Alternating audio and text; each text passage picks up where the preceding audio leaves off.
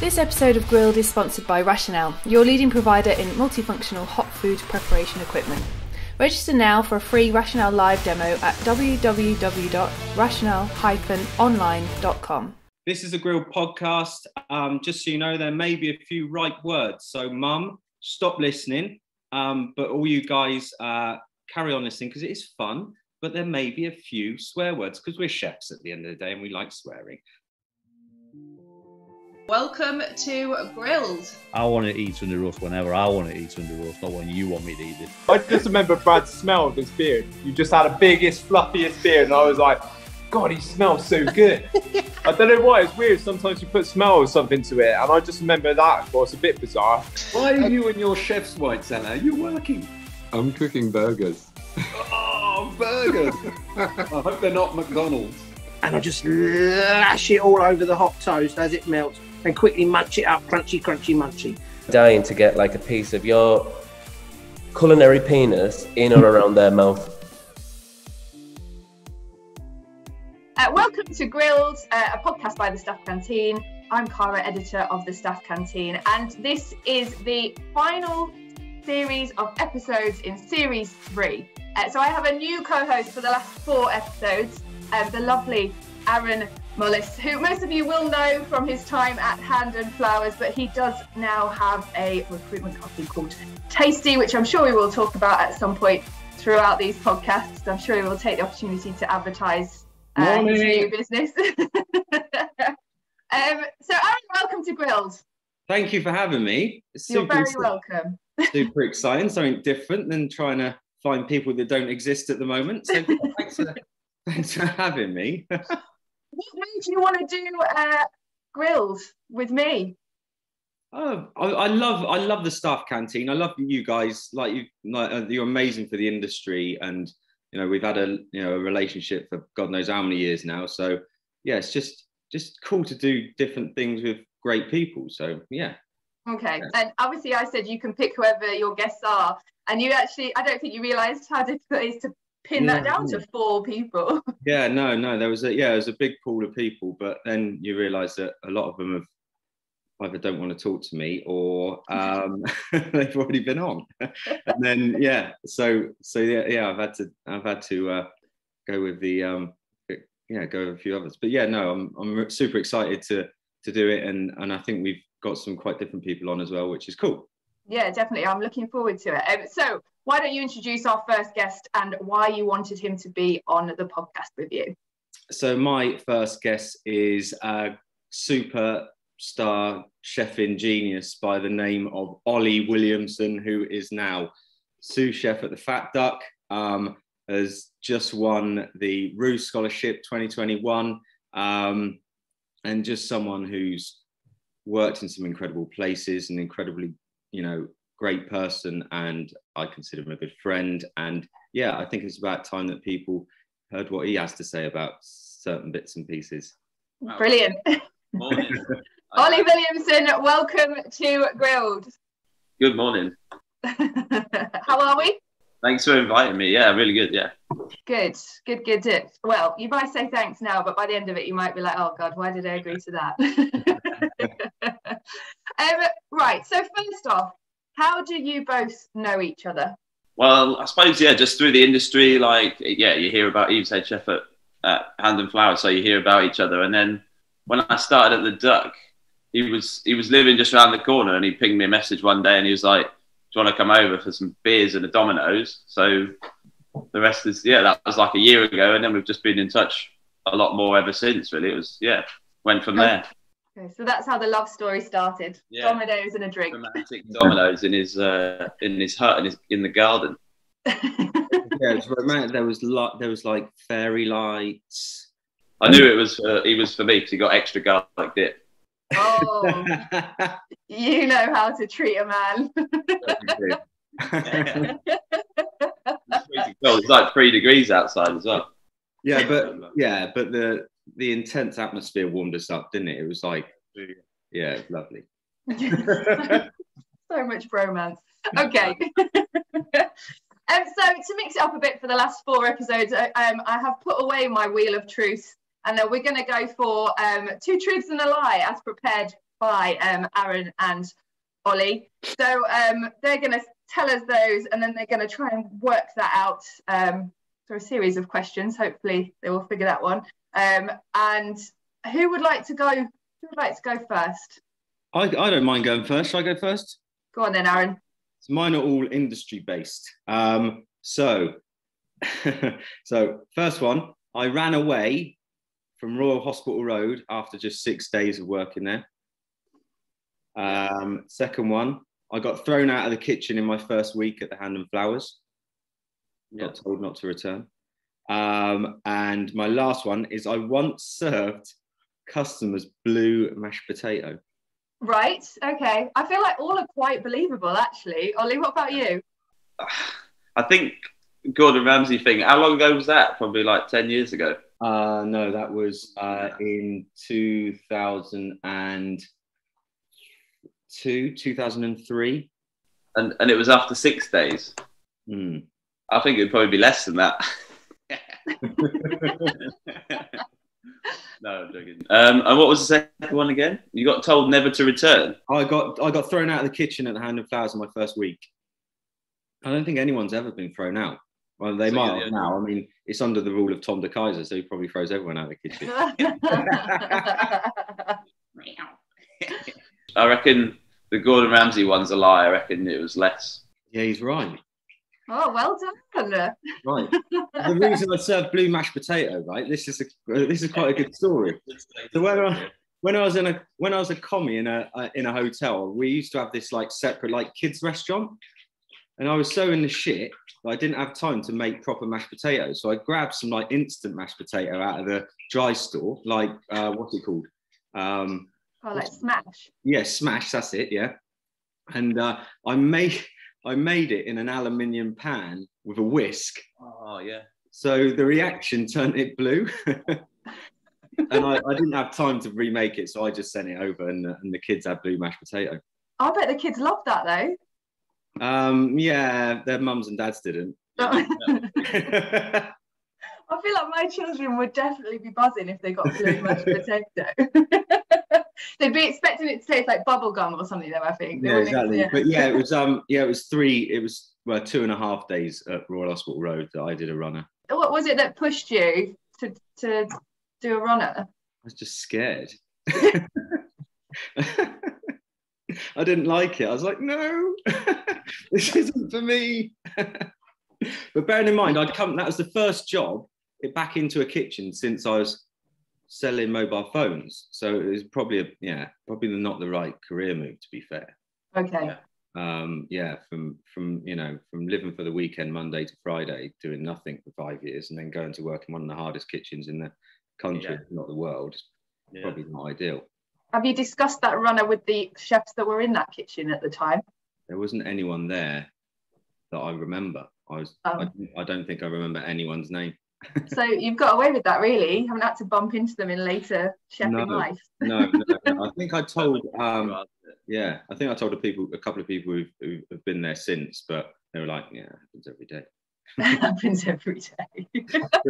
You're just, uh, you're just, yeah, you're just. Uh, Brilliant. Oli, let's have your uh, two truths and a lie. Well, I've done the opposite. I've gone for no no industry questions, like just trying to find different stuff. Um, so uh, when I was young, I loved Nelly so much. I walked around with a plaster on my cheek. Uh, I used to play drums in a band with Segala in the garden shed. And the last one, uh, I've never skinny dipped. I reckon that's a lie because I reckon Daniel probably stripped you off and threw you in the river on your last day at midsummer. Well, didn't strip me, but did get me in the river. Yeah.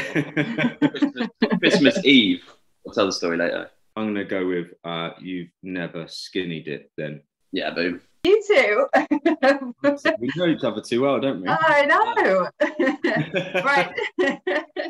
so you need to elaborate on your other your other stories then. So Nelly, you obviously just were a massive fan, right? I hope it was not in the kitchen, so you'd have to wear a blue plaster, wouldn't you? We're talking like 10, 11 years old here. It was like Hot in Here was out. that song he did with Kelly Rowland. I just thought he was a legend. Okay. I want to be one. Put my hat on sideways. Well, need- Amazing. we need some photos of this as well. I No, no. way. Yeah, you must have photos of this. You're lucky this is pre-social media days. yeah. Um, and then Sagala. Yeah, random. His mum, his mum and my mum went to school together, and then all of his he has got two brothers, and they all play instruments, and so we used to play like I don't know old rock classics in the garden shed And never, never skinny dipped. in the rain in uh, Malaga, I think, two years ago. Ah, okay. I didn't get skinny. I didn't get stripped at midsummer, but he did. I'll tell you a funny story, maybe. Uh, he so when I left, everybody used to get thrown in the river at midsummer when they left before health and safety went mad. Um, and I was and I put up a proper fight. Like there was there was a lot of guys trying to get me in there. And I was like, you won't get me in there, no way. Um, and so him and Sophie, and who was working at the time, they stole my car keys, backpacked them with a with a, a bike light, attached it to a rock, and threw them in. They said, "Okay, we're not going to throw you in, but you got to go get your car keys." so, actually, in the end, I had to just jump in. Christmas Eve, it was absolutely blisteringly cold, so I just jumped in in the end. oh, the, the good old days. Yeah. okay, brilliant. Right. Well, thank you both for those. Um, so let's uh, start off with because this is podcast will go out and it will be 2022. Scary. Um, what are your thoughts on the hospitality industry for 2022? Are we positive thinking? Um, are we not sure where we're going to be at? Always what are we thinking? to be optimistic about it and positive, but I mean, things are bleak, but I mean, I don't know. it's not going to be as bad as it has been. I think you know it can't be. It can't get any worse than that. To be to be completely honest, um, it's, it has to get to a point where it's it's just it's just normal. This this situation that we're surrounded in, or this the c word, is a normal. You know, what I mean, it's a it's part of day to day life, and Yeah. we just need to you know carry on because to be perfectly honest, like we've had a whole year or more to put a plan in place to make sure that what happened last year didn't happen, and it feels like it's happening again. Yeah. So Yeah. it's yeah. I think yeah we have to stay positive and and But s- at some point, something's going to give as well, right? Like I don't know. Um, last year, when I first started at the Duck, we had 34 chefs, and this year we're going to have 20 going into 2022. So, and we're still like maintaining the standard, but you just adapt to survive. And I don't know. There's some point where you can't adapt anymore, so something has to give. I don't know what it is, but yeah, It would be nice to go into 2022 with a positive outlook, wouldn't it? I think. Yeah.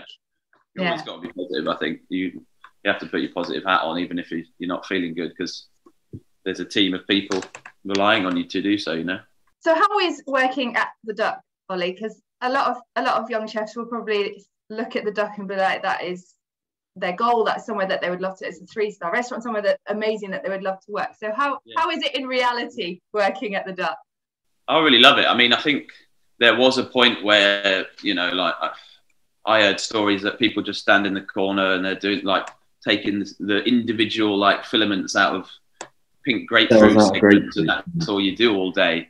But that's just not it. I mean, especially as we're adapting to survive, we need so much more from people these days. And um, I mean, I, in the in the year that I've been there, even as well, actually, with like getting away from water bath cooking, there's a lot of kind of you know, uh, we we don't cook fish or meat in the water bath as much, nearly as much as it used to be. So we're like really kind of going back to back to the kind of old school of cooking. I would say a lot more, which is nice. Um, I love it. I, I love the the atmosphere there. The the kind of the management team just make it a positive environment. It's not like super dead serious, and we we try to encourage people to to grow and you know move people around on sections a lot, and they a lot of the time they don't have a choice because there isn't anyone, so they just got to bounce around a lot. But but yeah, I mean, I commute from London every day, so if I didn't love it, I'd I'm probably a bit mental to do that anyway. But I really enjoy it. and I think there was always that um, kind of idea that the fact that was that like there's 50 chefs and one person does this for 15 hours a day and then they go home and they come back the next day and they do that and then but if you actually go and eat there especially well, I can't remember last time I went there maybe a couple of years ago and it is it is just food. Do you know it is proper you know it is proper cooking. It is a beautiful piece of you know roasted meat for the main course or fish or and it's not yeah I think it, it, it feels more so now that it is more proper cooking. If that makes sense, like traditional, you know, proper cooking. Yeah, I think it's a great time to join as well because we're doing this like anthology series at the minute, so 25 year anniversary. So I'm basically just seeing all the dishes that have ever been made, you know. So it's a great time to work there for the guys that work there now. They get to see all the old classics. It's not just like one menu for three years or whatever. We change it every two or three months. So that's that's pretty good. If you work there at the minute, you get to see all of that. So, so let's let's go back a bit uh, for both of you. Actually, like let's talk about your journeys within hospitality because I'm sure they're very, very, very different. But very different. um, so, Oli, how have you got to this point where you are now? And was that always in the back of your mind that you wanted to work at somewhere like the Fat Duck, or did you not have a plan and you've kind of just gone with it? Well, I never really no, I never really know, had a plan, and I, I don't think you really can. Well, well, I don't think I could have. I just took the opportunities that came and the, the advice that came at the time. Um, yeah, I mean, when I was like 18, when we I was watching Australian MasterChef, and the chef I worked for at the time said, "Go and work in Australia." So I did a year there, um, and then I came back, and then I worked for Daniel. He was like, "You need to go to a free star abroad." Um, so Ian Scaramuza helped me go to Benu. Um, so I went there for a year, and it was just, I suppose, yeah, it was just listening, listening to the advice of people and just going with the flow, really, that that got me to this point. I never really said, okay, I want to get there, mm-hmm. and then I'll try and do this, this, and this to get there because I don't, I don't, I don't actually think that it works like that because things change so often. You've just got to be flexible, but listen because yeah, the guys at the top usually have the best advice. Yeah, Aaron, is that something you can kind of relate to? And I mean, obviously, you've gone a completely different path to like what you're doing now.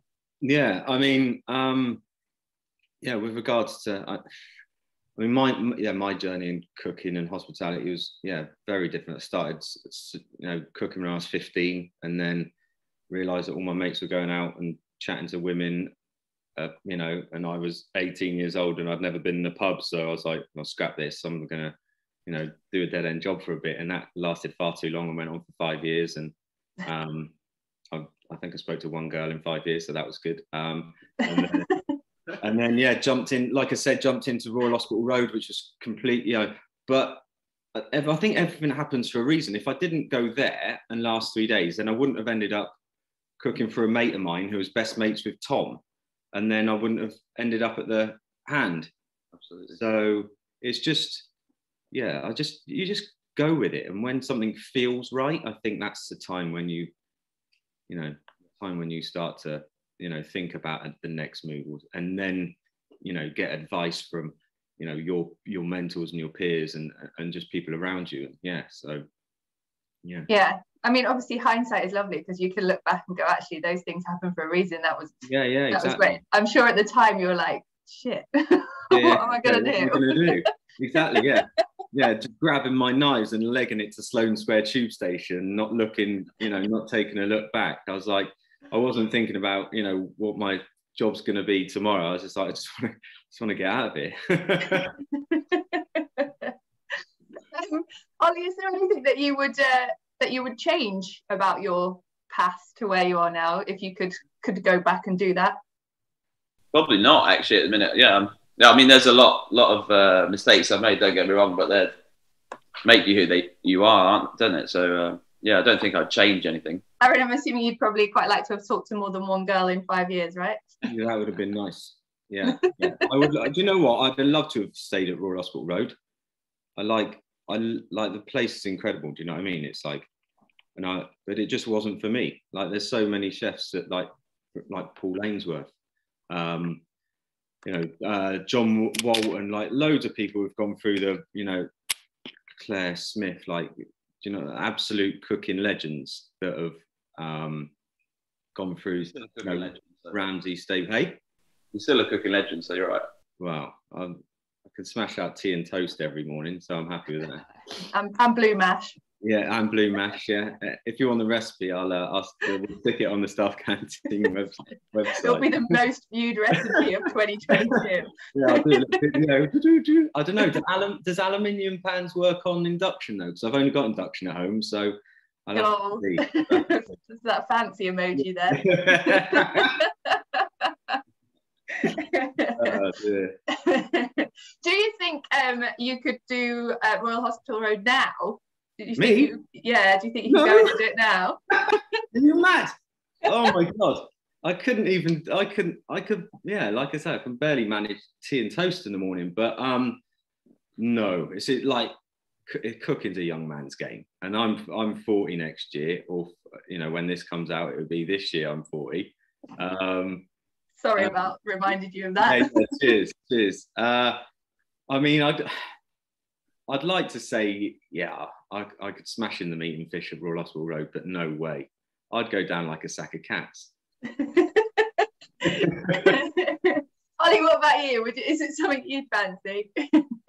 Uh, yeah, why not? I like a challenge. Well, that's it. Now it is your I might inbox is gonna your inbox is gonna be full of um, Royal Hospital Road job offers now, mate. You're supposed to come to me when you want your next job. First plug of the podcast. yeah. Um, so to, on a flip side, I obviously asked you is there anything that either of you would would change. Um, but what has been the highlight of your careers so far? Um, probably if I had put it down to one moment, it was at midsummer um, when a load of people left, like three people left in March all at once. And we had to make, we had to reduce the hot section. So there was usually one person cooked meat, one person cooked the fish, and one did the garnish. We had to make it one person cook the meat and fish together, and one person cooked the garnish. And it was a really savage time. But the whole summer, I cooked the meat and fish all of it for everyone. And that was probably like the best, yeah, the cooking highlight for me. That's the best I ever cooked. And because it was just, yeah, it was absolutely savage. You're cooking everything to order turbot on braisage, scallops, salamanu, pancier foie gras, roasting rack on the lamb, uh, roasted rack to lamb, like cooking it all and carving it yourself for 60 guests every lunch and dinner was, was savage. But yeah, I mean, it made me, yeah, who I am today, I suppose. That was probably the, the pinnacle, the best I've ever kind of cooked in a moment, I would say. Okay, Aaron, does that sound like a highlight to you? That's yeah, look, if you can do that. I mean, again, no, I couldn't do that. Jesus, Probably having can do it now. Yeah, yeah, no, that's I like I've eaten at Midsummer a lot, and I know Daniel very, very well, and to be able to do that for that amount of time, but to take on that responsibility is, yeah, it's phenomenal. You have to, you have to know, you know, you have to have your your, your wits about you to be able to cook at that level, and and and it's, it's precision as well. It's every single piece of meat and fish and whatever. It's perfect every single time to do that. Like it, that takes skill. Uh, obviously, I've had Daniel on here as a co-host. So, what's he like to to work with, Oli? Obviously, yeah, he, he's very savage, but he's like a culinary godfather to me. I mean, uh, yeah, now if I need any advice or anything, like after working for him for three years or whatever, um, I grew so much. I started there as a demi and then left as senior sous. So he pushed me to the absolute limits and showed me, you know, what what cooking was all about. Really, I thought I was really big bollocks when I went in there, but then I quickly got grounded and then came back up the hard way, I, I suppose. But I mean, I've done all sorts with him, and he teaches you more about life as well. I mean, I've gone. He bought a farm, and we used to go and chop trees down and all that kind of shit. And it was like just, it wasn't just cooking; it was everything. Like you can't walk down the path if there's a bit of litter, you have to pick it up. Like just about the restaurant and caring, and every little detail matters. Any stories he'd probably rather you didn't share that you'd like to share today? I've got a good story about Daniel actually. Have you? Go on The first, the first time I ever met Daniel Clifford was um, was at the Hand and Flowers. They, uh, there was, I think it was Marlow. There used to be something called Marlow Food Festival, and Um, so there was Tom, Claude, Daniel, Scott, his head chef at the time. Um, who else was there? Uh, I think Adam Simmonds might have been there. Sat might have been there. So they all sat before the bar area was built. There was like an outside area, so they they rocked up like a table of ten. Bear in mind, there's like you know twelve Michelin stars on the table, and oh, we're gonna have lunch. I was like, oh Jesus. So Tom pops in. He goes, oh, we're all sitting down for lunch. So my bumhole's doing this already. I don't know what all the chefs behind me are thinking because, like, yeah, to cook for that amount of you know legends um, was uh, yeah quite daunting. But then we'd we'd managed to get through lunch service unscathed, and I was in the um, I was in the walk-in fridge giving a couple of demis a bit of a dusting down because they hadn't cleaned down properly, and uh, Daniel walked. Daniel opens up the walk-in fridge, looks in, he sees that I'm giving these two lads a bit of a hard time, and offers me a job. He goes, "Whatever Tom's paying you, I'll pay you double." I, I think he liked my management style at the time. I was like, cheers, chef. And that, yeah, that's, that's how I met Daniel Clifford. nice. Oli, what about you? I mean, it's, it's unfortunate he's not on this because I do enjoy watching him squirm when he's not sure what people are going to say. But yeah. favorite Daniel story. One one of the favorites that springs to mind when you say that is yeah this this farm that he bought. Um, we used to go like on Wednesday lunches when it was a bit quieter when we had boys. He'd be like, right, come on, we're going to the farm.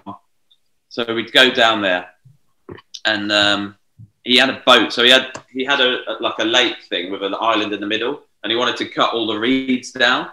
It's probably highly illegal as well, but it's hilarious. Um, and so I was on the on the front of this boat with a chainsaw, chainsawing into the water, and he's he's sitting on the back weighing it down, just chuffing away cigarettes. That's probably one of my favourite stories. Yeah, just that that image in my head, like I'm I'm going down. This this chainsaw is like spraying water all over me. You're just not supposed to chainsaw into water anyway, and I don't know how to use it. So I was just like, yeah, caning in there, trying to get all these reeds out. And then he's just on the back, like on his phone, like smoking, weighing the boat down.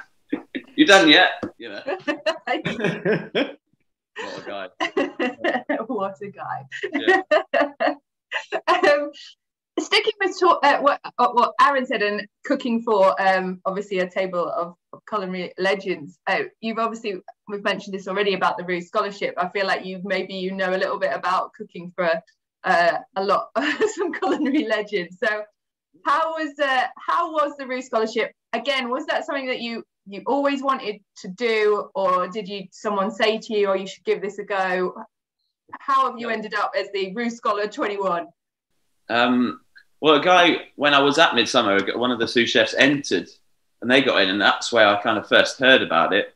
And I was like, yeah, I really want to do it. And then yeah, went gallivanting around a bit, and then never sort of had the the time to do it. And then I was like, well, it got to a point where it was my last year to enter.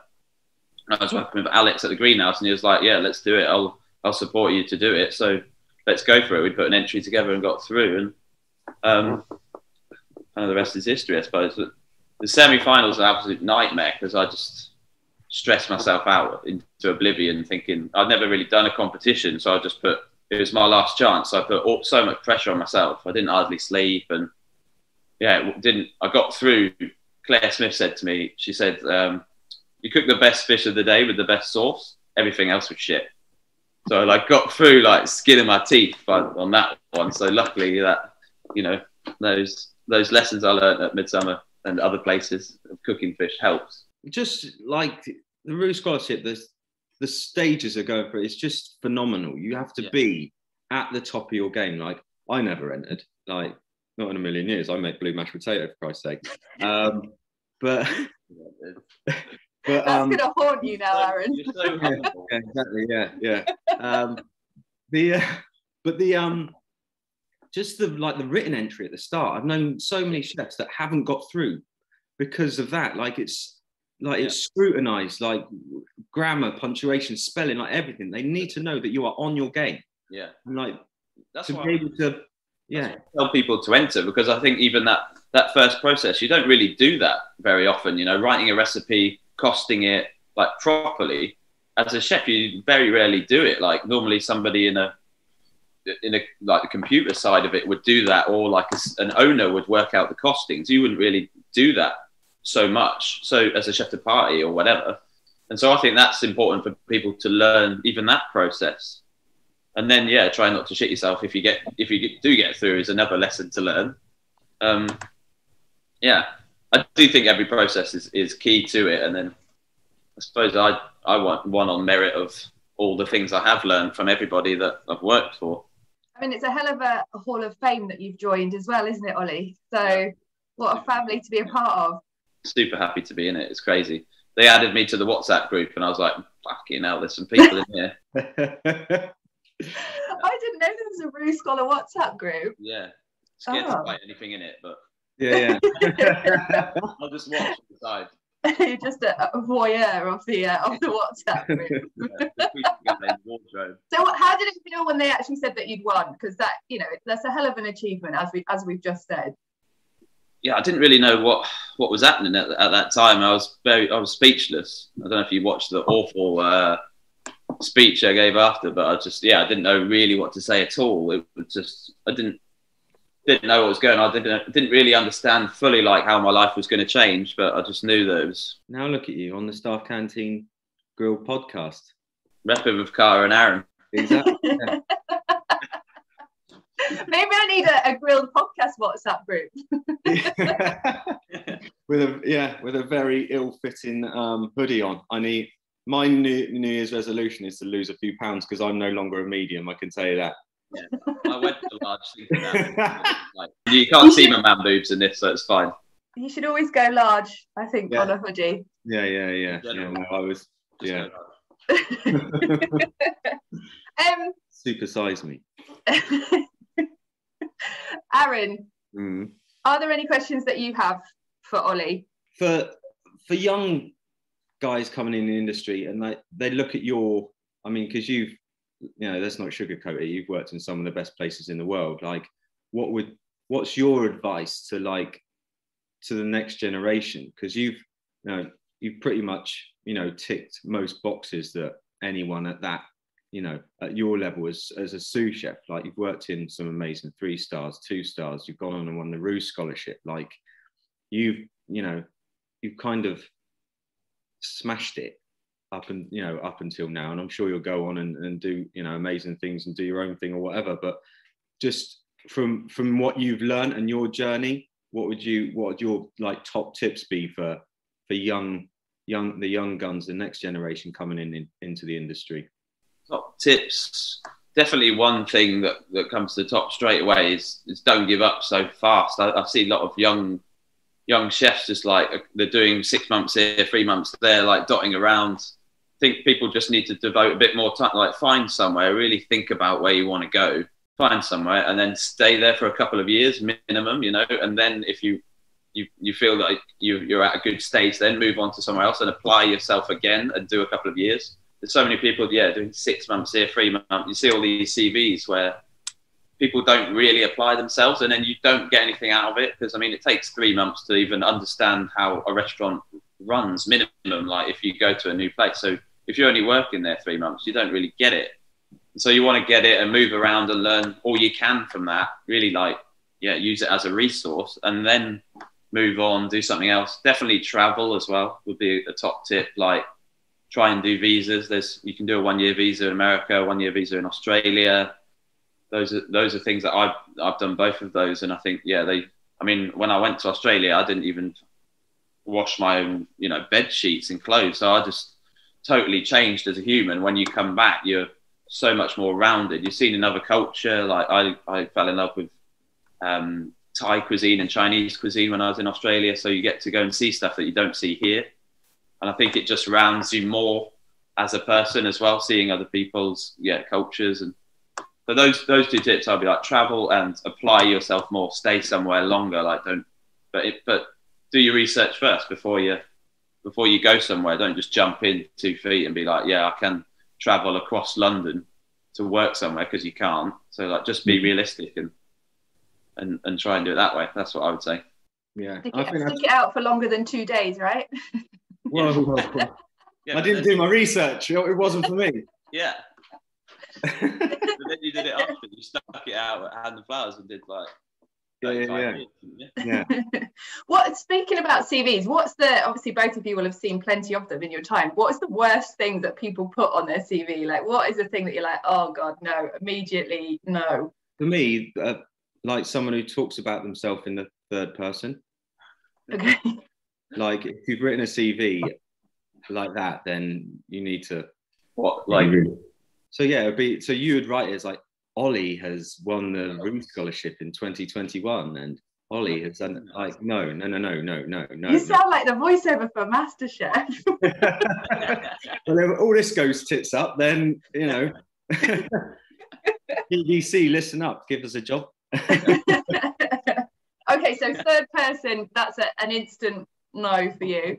For me, for me, it is. I think you um, you potentially uh, think a little bit too much of yourself.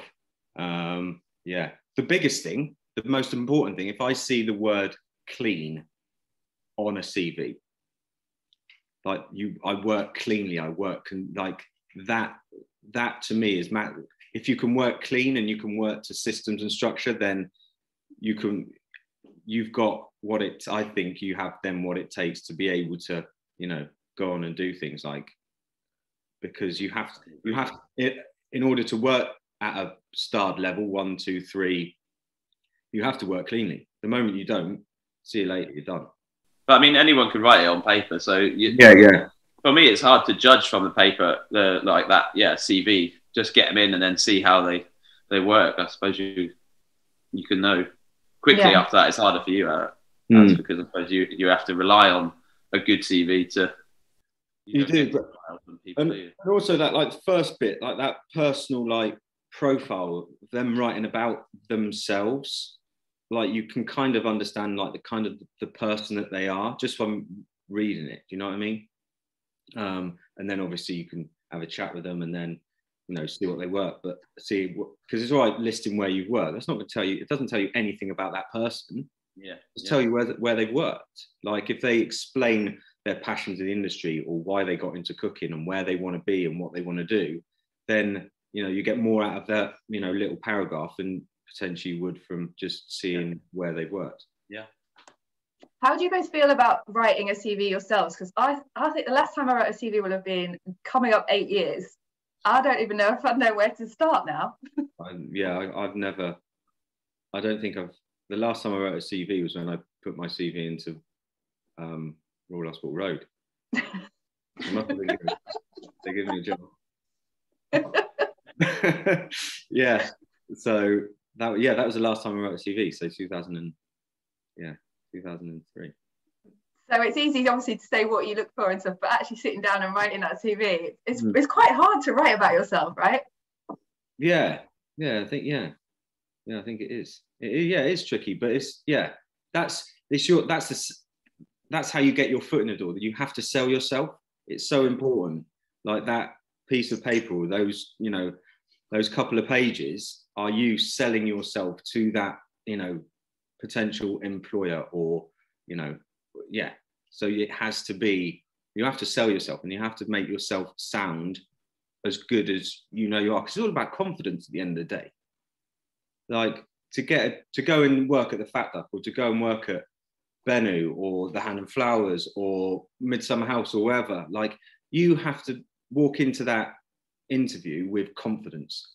The moment someone sees that you're confident in what you do, then everything you know you're like okay well I, I can trust this guy to cook the meat and fish or i can trust this guy to you know not fuck up the chips um, and yeah it's just about confidence and if you can convey confidence in your cv and your interview then you've got more chance of getting a job i think Ollie, would you check social media accounts as well? Yeah, that's one of my first things I do actually. Yeah, if someone applies for a job, I'll I'll put have a little search on Instagram, see see if we can scope them out. What are you looking for? Just like I don't know, a bit about them really, I suppose as well. Like like like Aaron said, that bit where you find out a bit more about them as a person. Cooking style, obviously, like that's interesting. But then, like if they have other passions and they're like, I don't know, interested in other stuff, is it? Yeah, I think that, that's important as well. so a word of warning to young chefs that put inappropriate images on their social media. Sometimes that's relevant as well. We all got a bit of a black mind. There's no, yeah, there's no Well, harm in being having a bit of a laugh and joke.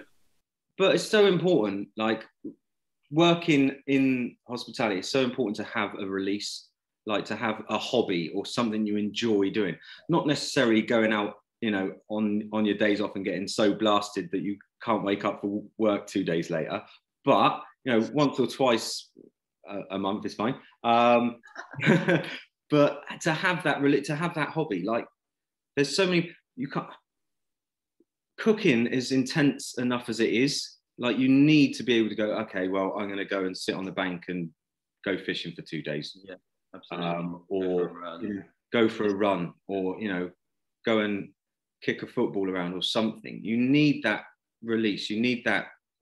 That's you know that hobby to be able to just take that deep breath and then go, okay, well, let's go. You know, let's go again. I, I think that's so important. Like yeah, otherwise, otherwise it, you know, yeah, it can. I think. I think well- then like things like mental health and that come into it. Like if you're so super absorbed into your, you know, your job that that it just becomes everything, then your life will ultimately, I think, suffer. Um, you know, in, in you know in the future, I think I think you need that. You, you need something else as well. Ollie, I hope you're going to add can operate a chainsaw onto your CV. Definitely. underwater. underwater chainsaw operative. um, what what's your death row dinner? Death row dinner, probably like steak béarnaise. Nice. Yeah, you washing it down with anything or not? yeah, but so cheeky red. What's your favourite restaurant? One of my favourites is Ikoyi in London. I'd say. I, No. like, I like the style. That's like yeah, in a, it's so diverse, African slash you know Japanese. Um, that's one of my favourite restaurants. I'd say. What's your yeah? I'd like to know your tips for, the, or who do you think the next three star would be? Next three star, Claude Bosi probably. I think he's yeah he's been close for some years now and really on the door. Um, that's probably the closest for three star, I reckon. Maybe Ritz for two star. So I guess now that you've won the Roux Scholarship, um, where's the um, where are you going to go on stage? I mean, how does that work with COVID now? Um, I don't know at the minute. I mean, we're looking at like the end of next year anyway, so Hmm. But who knows? It's hard to plan that far in, advance, isn't it? So I'm looking at going to Singapore or Japan. I haven't kind of because I've never been that side of the world so much. So yeah, I'd like to go and explore over there. That's one of the amazing things about winning it, isn't it? That just being able to Yeah. choose anywhere in the world that you want to go. Amazing. Mhm. Other than that, what's on the cards for you 2022, Ollie? Do you know? Have you got like a plan for the for, for the, the year coming? Um, yeah, there's some stuff stuff happening in the pipeline, but I suppose it's, it's TBC. Um, yeah, can't really say too much. It's a bit boring. No, it's so cloak and dagger. It's a bit boring. Well, that's boring. Come on. I'm sorry. I get you on here to start going, oh, TBC. Ask me another question then. um, I have got time for a, a, a question from the audience, um, and I, I, I feel like maybe you probably should answer this, Ollie. Um, from Paul Foster. Um, I'm sure you're aware of his work. So he wants to know why is Aaron so beautiful? He's such a dick. He plucks his eyebrows. He imacs all over. yeah, that's that's twelve. Uh, that's twelve long, long years at Hand and Flowers. Keeps you fresh. Yeah. you, do, you do look younger than 40. So fair play. It's all like tea and toast, mate. Oh, mate, thanks. it's the it's the good lighting he's got going on in the It is, isn't background. it? The- the hero. it's it's Mar it's Marco behind me. Keeps me keeps me on my toes. um, and so, what is your uh, New Year's resolution for 2022? I want one from from both of you. Um, and is it something that you do you do? Do you make a resolution or or, or not? Sometimes I do, sometimes I don't. It depends how I feel. Mine, I think I'm going to take the phone out of the bedroom, buy an alarm clock. Spend far too much time in bed on the phone. That is a really good show. I did that about two years ago, and it's the best thing I ever did. Yeah. I like that one. You can't steal Um, it. You have to have your own. No, all right. Uh, well, I did say that I'd need to lose a bit of weight because this this hoodie's a little bit tight. I think just obviously year, you know, first year of Tastie has been um, challenging. Like we've all, you know, we've all had super challenging, you know, years, I guess. Um, but just to keep driving that and just yeah, just pushing it because it's yeah, it's super, you know, super new and it's um, yeah, I'm excited to see where where it goes really. Yeah. So what's the story behind Tastie that people don't know then, Aaron? So why did you want to do that? You know, where did it all come from? Why think- didn't you want to stay doing what you were doing?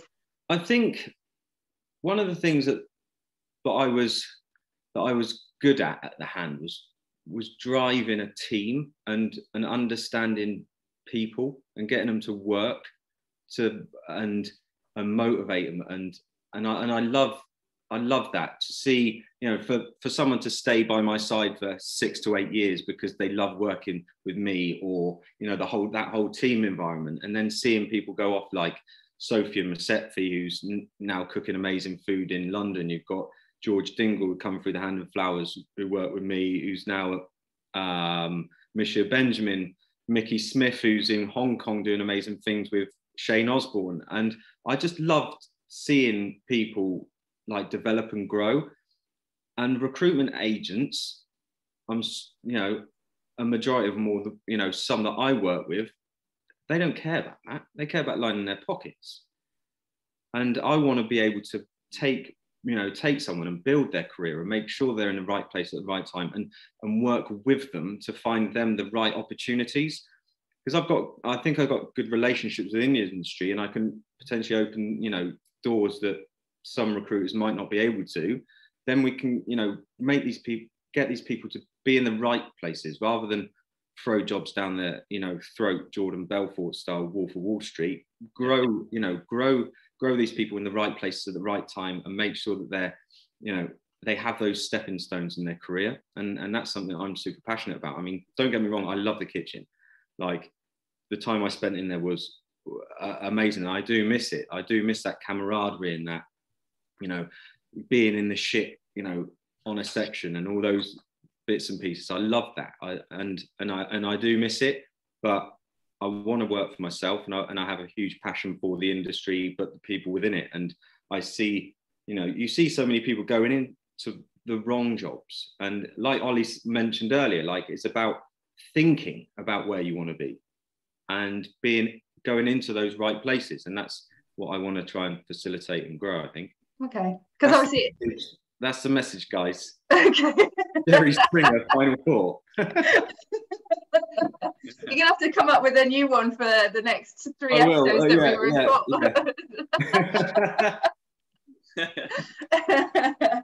right. Well, on that note, um, thank you both. Ollie, you've made it through Grilled. I don't think you've said anything uh, that needs editing out, so we're, we're all good there.